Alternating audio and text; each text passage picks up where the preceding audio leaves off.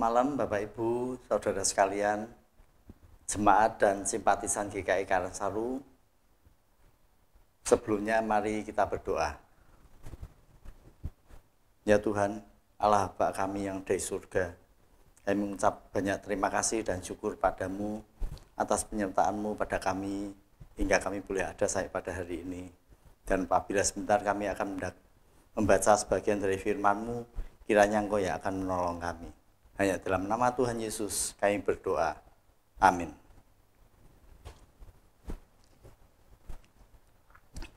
Tema hari ini waktunya berpesta dengan ayat 2 Tawaris 29 sampai ke 32.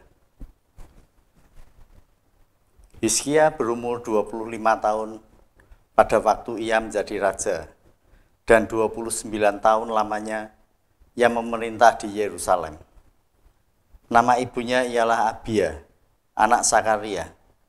Ia melakukan apa yang benar di mata Tuhan, tetapi seperti yang dilakukan Daud, bapa leluhurnya. Pada tahun pertama pemerintahannya, dalam bulan yang pertama, ia membuka pintu-pintu rumah Tuhan dan memperbaikinya ia mendatangkan para imam dan orang-orang Lewi dan mengumpulkan mereka di halaman sebelah timur. Katanya kepada mereka, Dengarlah, hai orang-orang Lewi, sekarang kuduskanlah dirimu dan kuduskanlah rumah Tuhan. Allah nenek moyangmu, keluarkanlah kecemaran dari tempat kudus. Karena nenek moyang kita telah berubah setia. Mereka melakukan apa yang jahat di mata Tuhan Allah kita telah meninggalkannya, mereka telah memalingkan muka dari kediaman Tuhan dan membelakanginya. Bahkan mereka menutup pintu-pintu balai rumah Tuhan dan memadamkan segala pelita. Mereka tidak membakar korban ukupan dan tidak mempersembahkan korban bakaran bagi Allah, orang Israel di tempat kudus. Sehingga murka Tuhan menimpa Yehuda dan Yerusalem. Ia membuat mereka menjadi kengerian, kedahsyatan dan sasaran suitan seperti yang kamu lihat dengan matamu sendiri. Karena hal itulah nenek moyang kita tewas oleh pedang dan anak-anak laki dan anak-anak perempuan kita beserta istri-istri kita menjadi tawanan.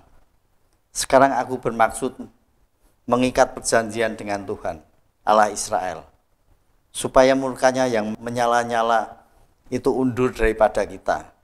Anak-anakku, sekarang janganlah kamu lengah, karena kamu telah dipilih Tuhan untuk berdiri di hadapannya, untuk melayani dia, untuk menyelenggarakan kebaktian dan membakar korban baginya. Lalu bangunlah orang-orang Lewi itu, yakni dari Bani Kehat, Mahat bin Amasai, dan Yuel bin Asaria dari Bani Merani.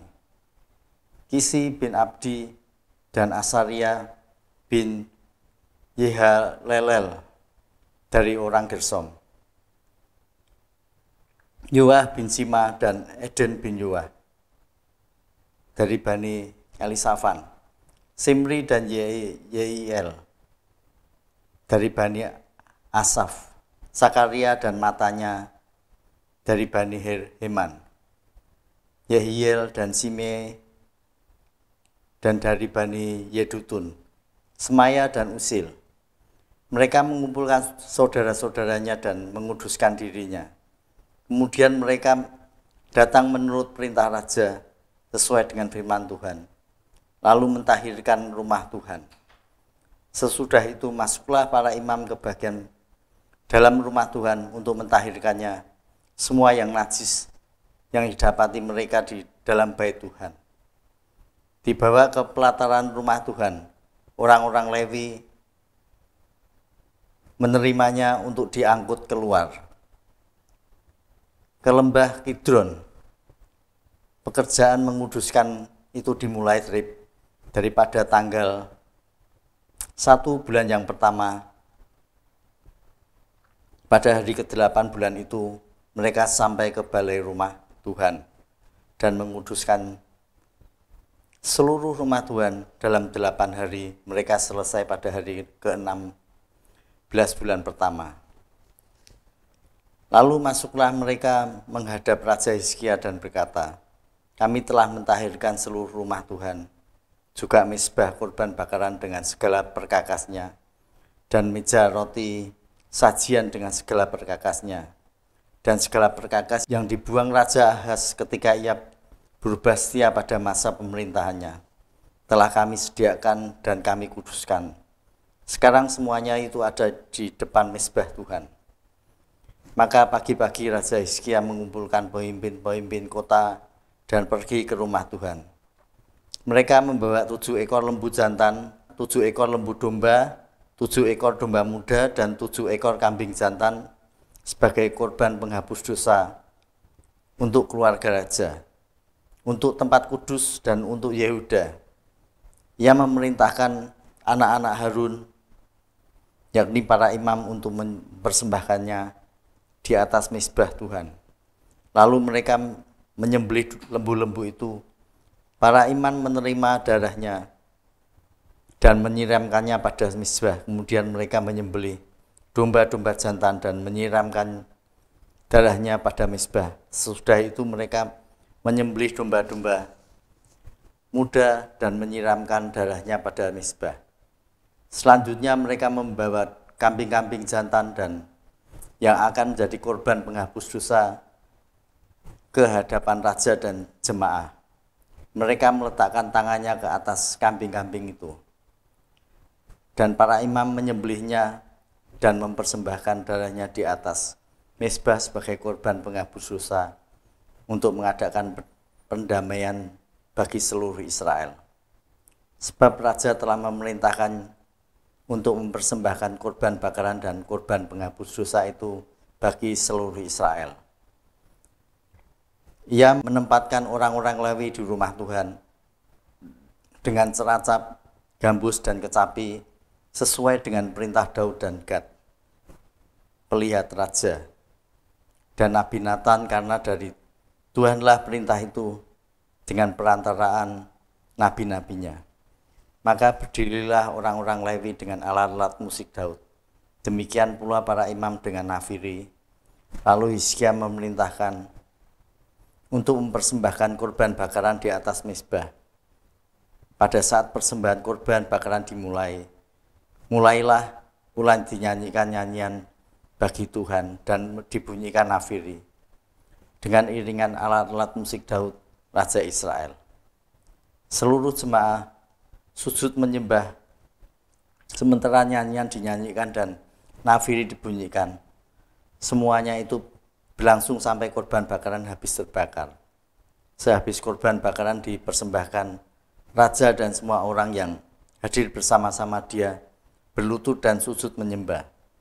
Lalu Raja Hizkia dan para pemimpin memerintahkan orang-orang Lewi menyanyikan puji-pujian untuk Tuhan dengan kata-kata Daud dan Asaf, pelihat itu. Maka mereka menyanyikan puji-pujian dengan sukaria, lalu berlutut dan sujud menyembah. Kemudian berbicaralah Hizkia, sekarang kamu telah mentahbiskan dirimu untuk Tuhan, mendekatlah dan bawalah korban-korban sembilan dan korban-korban syukur ke rumah Tuhan Lalu jemaah membawa korban-korban sembelian dan korban-korban puji-pujian. Siap orang yang rela hati membawa juga korban-korban bakaran. Jumlah korban bakaran yang dibawa jemaah ialah lembu 70 ekor, domba jantan 100 ekor, dan domba muda 200 ekor. Semuanya sebagai korban bakaran bagi Tuhan. Persembahan-persembahan kudus terdiri dari lembu sapi, 600 ekor dan kambing domba 3000 ekor. Tetapi jumlah imam terlalu sedikit sehingga mereka tidak sanggup menguliti semua korban bakaran. Oleh sebab itu saudara-saudara mereka, orang-orang Lewi membantu mereka sampai pekerjaan itu selesai.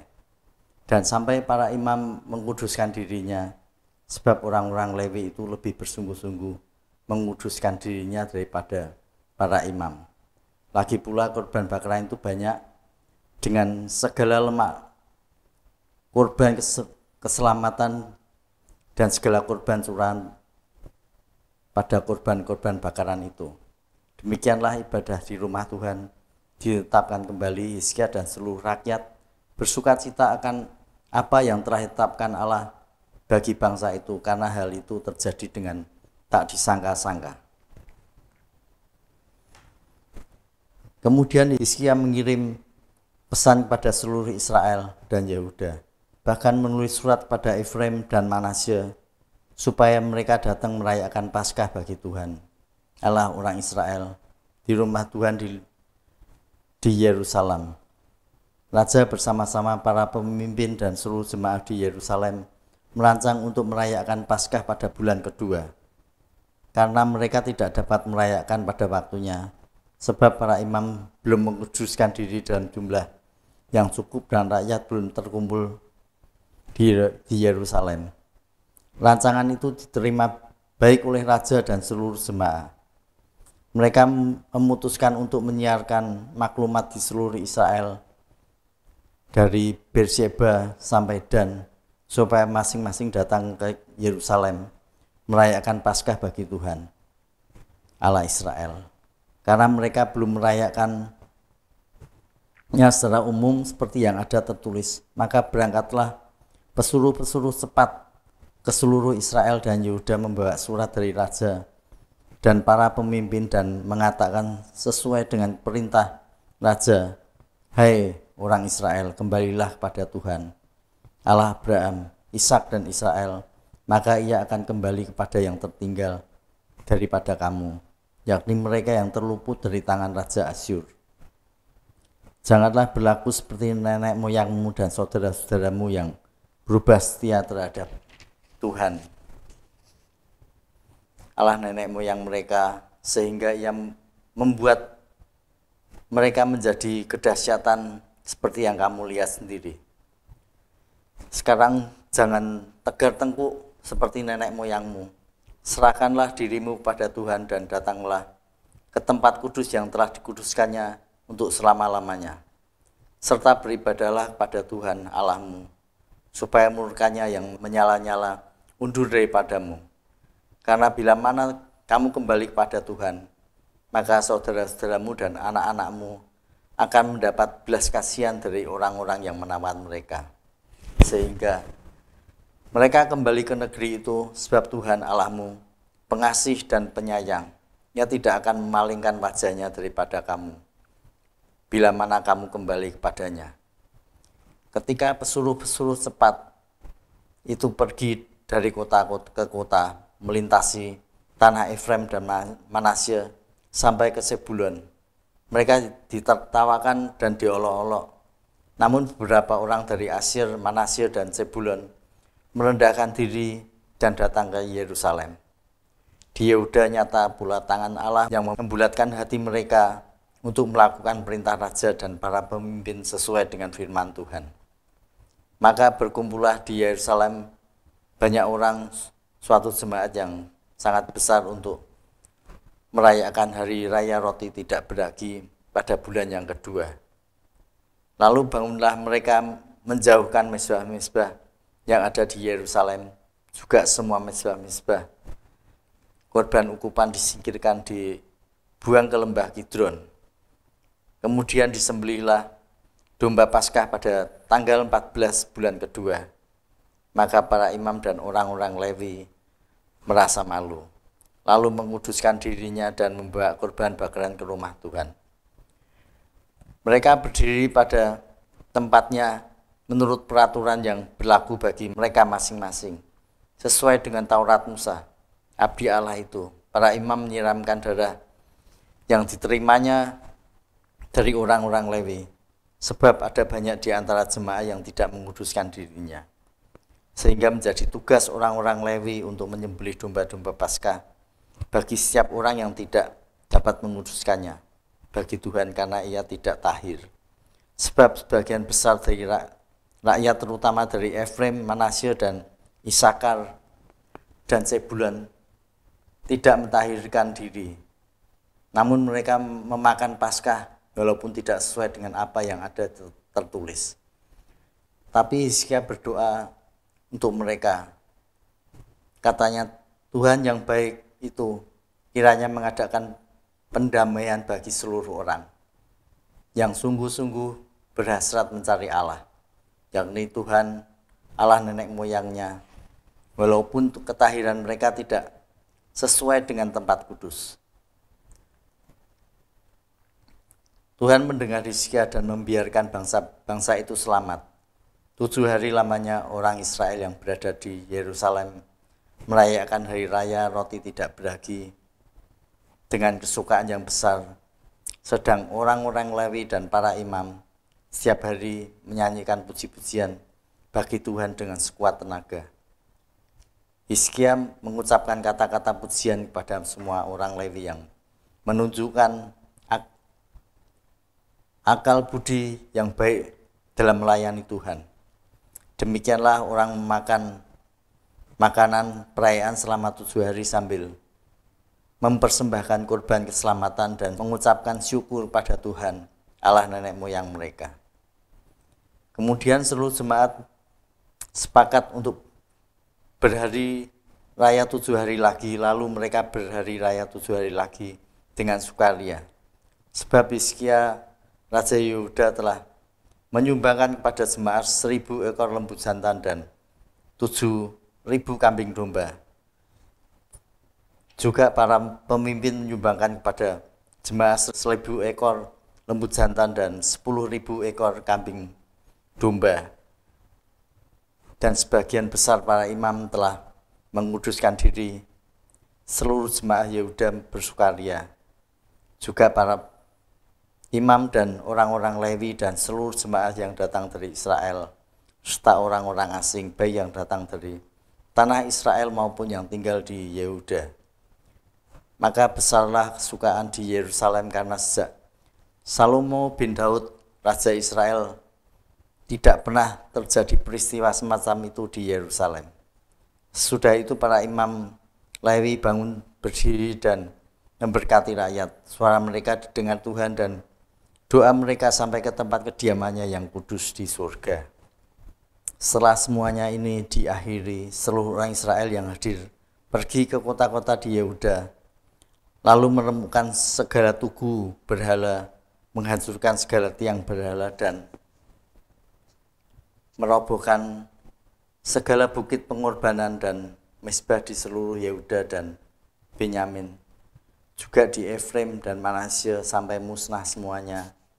Kemudian pulanglah seluruh orang Israel ke kota-kota di ke miliknya masing-masing. Hizkia menetapkan rombongan para imam dan orang-orang Lewi, rombongan demi rombongan, masing-masing menurut tugas jabatannya sebagai imam atau sebagai orang Lewi, untuk mempersembahkan korban bakaran dan korban keselamatan, untuk mengucap syukur dan menyanyikan puji-pujian, dan untuk melayani di pintu-pintu gerbang di tempat perkemahan Tuhan Raja memberi sumbangan dari harta miliknya untuk korban bakaran, yaitu korban bakaran pada waktu pagi dan pada waktu petang. Korban bakaran pada hari-hari sabat dan pada bulan-bulan baru dan pada hari-hari raya. Yang semuanya tertulis di dalam Taurat Tuhan yang memerintahkan rakyat yakni penduduk Yerusalem untuk memberikan sumbangan yang menjadi bagian para imam dan orang-orang Lewi supaya mereka dapat mencurahkan tenaganya untuk melaksanakan Taurat Tuhan. Segera setelah perintah ini tersiar orang-orang Israel membawa dalam jumlah yang besar hasil pertama dari pada gandum, anggur, minyak, madu, dan segala macam hasil bumi.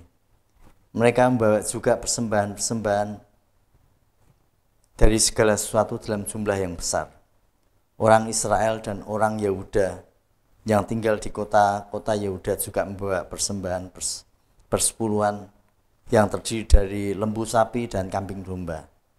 Dan persembahan persepuluhannya yang terdiri dari persembahan kudus yang telah dikuduskan bagi Tuhan Allah mereka. Semuanya itu diletakkan mereka bertimbun-timbun. Mereka mulai membuat timbunan itu pada bulan yang ketiga dan mereka selesai pada bulan yang ketujuh. Hizkia dan para pemimpin datang melihat timbunan itu dan mereka memuji Tuhan dan umatnya orang Israel. Hizkia menanyakan para imam dan orang-orang Lewi tentang timbunan itu dan dijawab oleh Asar, Asarya, imam kepala keturunan Sadok, demikian. Sejak persembahan khusus mulai dibawa ke rumah Tuhan, maka telah makan sekenyang-kenyangnya, namun sisanya masih banyak. Sebab Tuhan telah memberkati umatnya sehingga tinggal sisa yang banyak itu. Kemudian Hizkia menyuruh menyediakan bilik-bilik di rumah Tuhan dan mereka menyediakannya. Dan dengan setia mereka membawa segala persembahan khusus. Persembahan persepuluhan dan persembahan-persembahan kudus itu ke sana. Kewenannya seorang Lewi mengawasi semuanya dan Simei saudaranya adalah orang kedua. Sedang Yehil, Asarsya, Nahat, Asael, Yerimot, Yosabet, Eliel, Ismaknya, Mahat dan Benanya adalah pemilik di bawah kunanya dan Simei. Saudaranya itu sesuai dengan petunjuk Raja Hizkia dan Asarya, kepala rumah Allah. Dan Kore bin Yima seorang Lewi penunggu pintu gerbang di sebelah timur mengasih pemberian-pemberian sukarela untuk Allah serta membagi-bagikan persembahan khusus yang untuk Tuhan dan persembahan persembahan Maha Kudus. Di kota-kota imam ia, ia dibantu dengan setia oleh Eden, Minyamin, Yesua, Semaya, Amaria, dan Sekanya. Dalam pembagian itu kepada saudara-saudara mereka menurut rombongan ke, kepada mereka kepada orang dewasa dan anak-anak.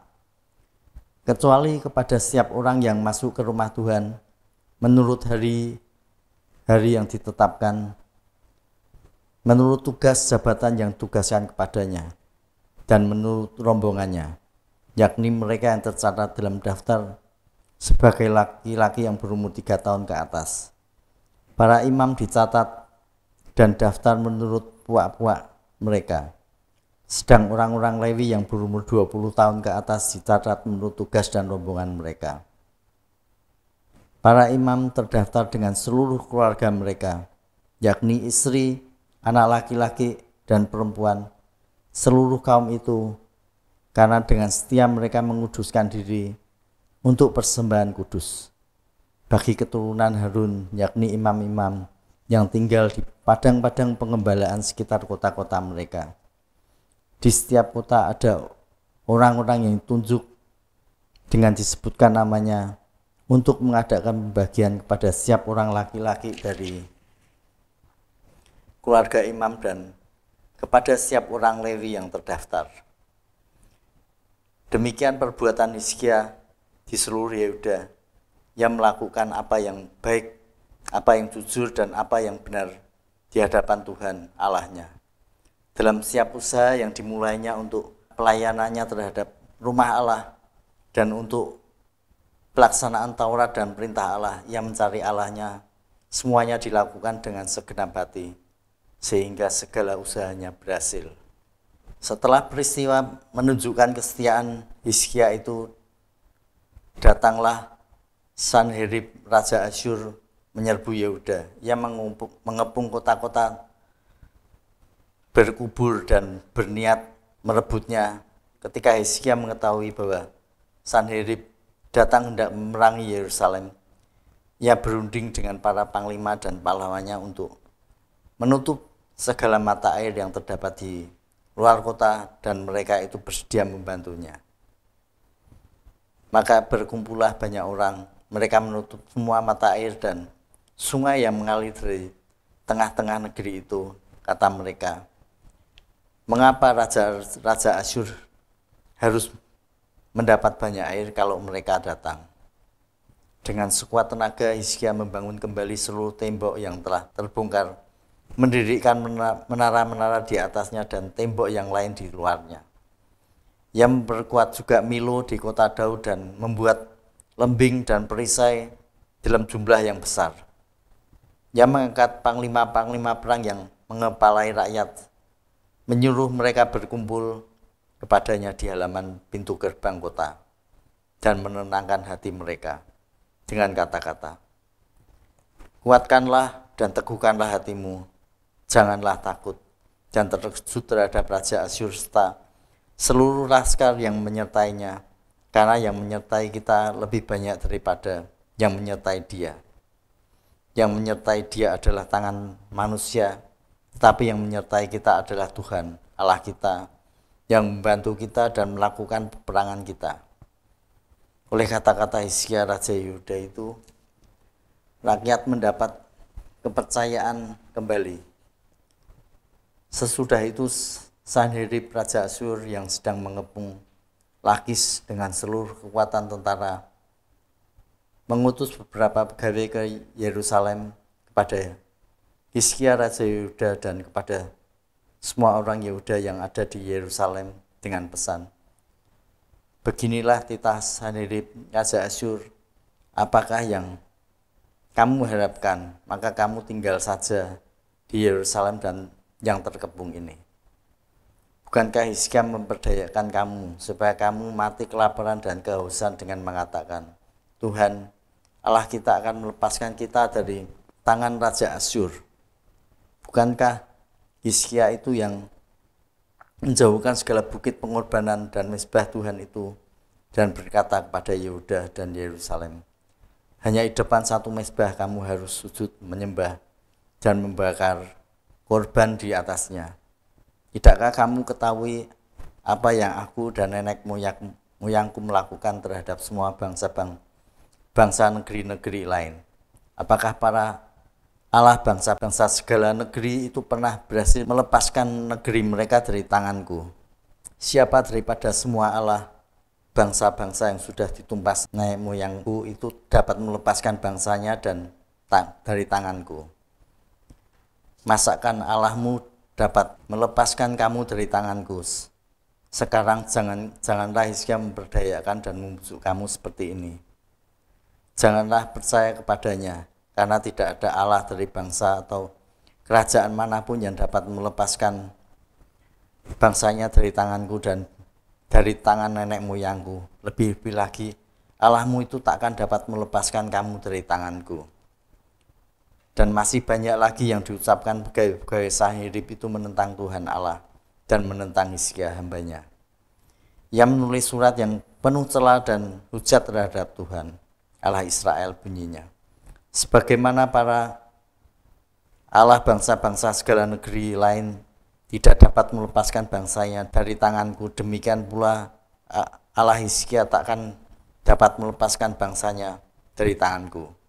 Dan mereka berseru dengan suara nyaring dalam bahasa Yuda dengan kepada rakyat Yerusalem yang ada di atas tembok untuk menakutkan dan mengejutkan mereka supaya mereka dapat merebut kota itu. Mereka berbicara tentang Allah Yerusalem seperti tentang Allah bangsa-bangsa di dunia adalah buatan tangan manusia. Tetapi oleh karena itu Raja Hizkia dan Nabi Yesaya bin Amos berdoa dan berseru pada surga. Lalu Tuhan mengirim malaikat dan melenyapkan semua pahlawan yang gagah perkasa, pemuka dan panglima yang ada di perkemahan Raja Asyur, sehingga ia kemalu-maluan kembali ke negerinya. Kemudian ia ditewaskan dengan pedang oleh anak-anak kandungnya sendiri ketika ia memasuki rumah Allahnya. Demikianlah Tuhan menyelamatkan Isbia dan penduduk Yerusalem dari tangan Sanherib Raja Asyur dan dari tangan semua musuhnya. Dan ia mengaruniakan keamanan kepada mereka di segala penjuru.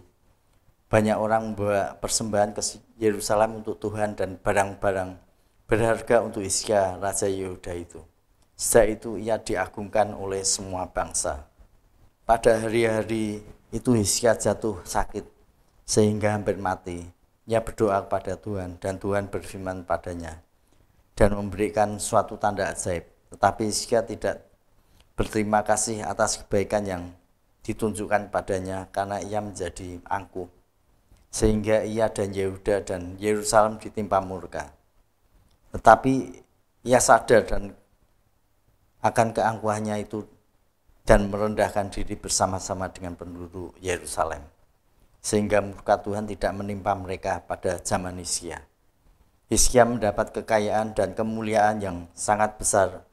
Ia membuat perbendaharaan-perbendaharaan untuk emas, perak, batu permata yang mahal-mahal, rempah-rempah, perisai-perisai dan segala macam barang yang indah-indah. Juga tempat perbekalan untuk hasil gandum, untuk anggur dan minyak, dan kandang-kandang untuk berbagai jenis hewan besar dan kandang-kandang untuk kawanan kambing domba. Ia mendirikan kota-kota yang memperoleh banyak kambing domba dan lembu sapi. Karena Allah mengaruniakan dia harta milik yang amat besar. Hizkia ini juga telah membendung aliran Gihon di seluruh hulu dan menyalurkannya ke Hilidis sebelah barat ke kota Daud. Hizkia berhasil dalam segala usahanya. Demikianlah juga ketika utusan-utusan raja-raja Babel datang kepadanya untuk menanyakan tentang tanda ajaib yang telah terjadi di negeri. Ketika itu Allah meninggalkan dia untuk mencobainya supaya diketahui segala isi hatinya selebihnya dari riwayat Hizkia dan perbuatan-perbuatannya yang setia. Sesungguhnya semuanya itu tertulis dalam penglihatan Nabi Yesaya bin Amos dalam kitab Raja-Raja Yehuda dan Israel. Kemudian Hizkia mendapat perhentian bersama-sama dengan nenek moyangnya dan dikuburkan di pendakian ke kuburan anak-anak Daud. Pada waktu kematiannya, seluruh Yehuda dan penduduk Yerusalem memberi penghormatan kepadanya. Maka Manasye anaknya menjadi raja menggantikan dia. Demikianlah firman Tuhan, syukur kepada Allah. Amin.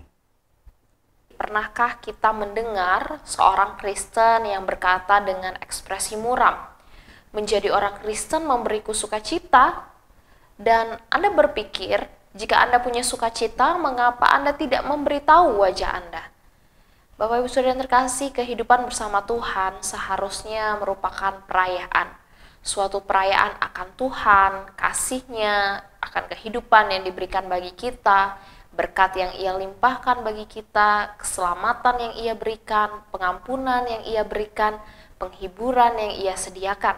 Bapak Ibu yang terkasih, kehidupan bersama dengan Tuhan seharusnya tidak pernah membosankan, gersang, asam, bahkan mati. Bagaimana Tuhan dari kehidupan yang seperti itu memberi Anda kehidupan yang mati? Ini tidak berarti kita tidak akan punya masalah. Hal-hal yang buruk terjadi yang diberikan kepada orang-orang baik, bahkan kepada umat Tuhan. Namun, hal yang buruk itu bukanlah fokus dari kehidupan kita. Fokus kehidupan kita adalah untuk merayakan Tuhan. Bapak Ibu Hizkia dan bangsa Israel merayakan. Mereka berpesta selama tujuh hari berturut-turut untuk memuji Tuhan Dapat kita lihat dalam 2 Tawarik 30 ayatnya ke-21. Bagaimana kita merayakan hal yang telah Tuhan perbuat dalam hidup kita? Dapatkah orang-orang yang berjumpa dengan kita melihat bahwa kita memiliki sesuatu yang berharga yang patut untuk dirayakan? Apa yang dapat kita ubah agar seseorang dapat melihat bahwa Tuhan telah memberikan kita sukacita yang sejati? Amin. Mari kita berdoa. Bapak Maha Kasih dalam Kristus kami mengucap syukur untuk banyak hal baik yang Tuhan berikan di dalam kehidupan kami. Sekalipun hari ini kami menjalani hidup yang mungkin penuh dengan berbagai masalah dan pencobaan, namun di tengah-tengah semua itu kami dapat tetap melihat Engkau adalah Allah yang baik. Engkau mengerjakan keselamatan di dalam kehidupan kami. Engkau memberi kami penghiburan, Engkau memberi kami kekuatan, Engkau memberikan jalan keluar di tengah-tengah persoalan yang kami hadapi. Oleh sebab itu Tuhan biarlah itu tidak menjadi alasan membuat kami merasa bahwa hidup kami sangat membosankan, hidup kami gersang bahkan mati karena pergumulan-pergumulan yang dihadapi. Tapi di tengah-tengah segala pergumulan yang ada, kami dapat tetap melihat Engkau Allah sebagai Allah yang turut campur tangan di dalam kehidupan kami. Tolonglah kami Tuhan, mampukan kami di dalam menjalani hari-hari yang ada. Terima kasih Bapak yang baik, kami mengucap syukur untuk perenungan firman pada malam hari ini. Dan biarlah Tuhan terus menolong kami di dalam aktivitas ke depan. Kami rindu untuk memberikan yang terbaik, melalui waktu yang Tuhan percayakan bagi setiap kami. Terima kasih terpujilah namamu demi Kristus kami berdoa. Bapak Ibu Saudara yang terkasih, selamat malam dan selamat beristirahat. Mari kita terus ingat kebenaran firman Tuhan untuk menjadi anak-anak Tuhan yang senantiasa merayakan kebaikan Tuhan. God bless you.